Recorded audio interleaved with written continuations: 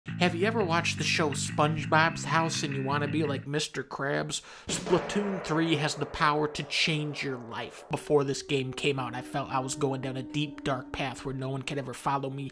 And now that I've spent $90 on this Splatoon game, I feel like I am back on the road to redemption. Nintendo is doing a lot of big games this year Splatoon 3, Pikmin 3, Xenoblade 3. Oh man, when Captain Shulk found that the Xenoblade was buried under a rock, 70 hours into the game, I almost cried. Spoiler alerts for Xenoblade 3. But the whole time I was playing Xenoglaive, I felt there should be a better game called Xenogun, and that's exactly what this is. The Sony ponies and the Xbox are always teasing us Nintendo players and telling us that Nintendo will never do guns in a game because Nintendo is for babies. Well, Xbox, you idiots, what now? You think this is for babies? They have always laughed at us. Well, now who's laughing? We are, because there are so many funny jokes in this game. Even Tony Soprano will show up to tell jokes at times. The biggest innovation of Splatoon 3 is how they do the ranked mode. It's always frustrating in ranked modes when you're doing really good,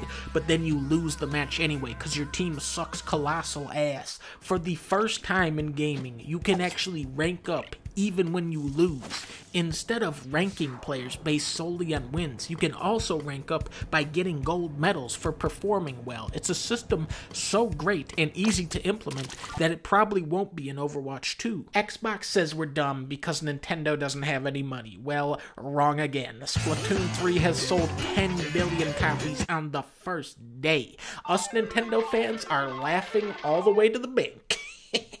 Valorant is a dead game.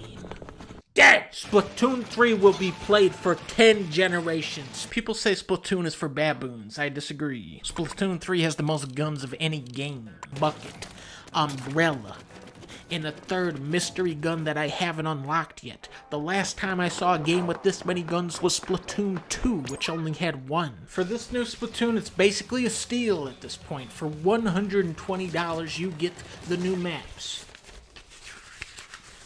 There is a manta ray called Big Time. He is huge. Back in my day, Call of Duty used to be the best game you could buy. For $60, you would essentially get three games in one. Today, you'll be lucky if you even get to see Captain Soap sometimes.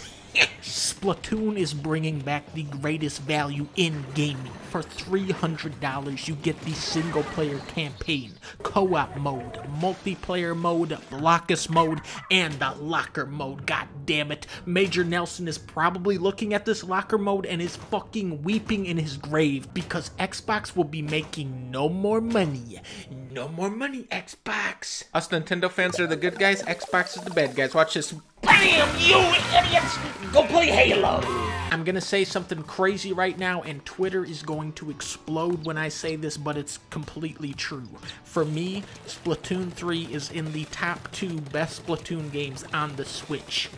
I just went there. I remember when that shit game Octopus Traveler came out and you don't even see an octopus once throughout the whole fucking charade. With Splatoon 3, Nintendo is allowing us to live through life as an octopus, shoot their ink, feel their feelings because of the 4K graphics. This game will make you cry even if you are a man. I don't ever play shooters, they suck, but Splatoon 3 is the best shooting game ever made and I've played them all, and I haven't even played it yet. Thank you.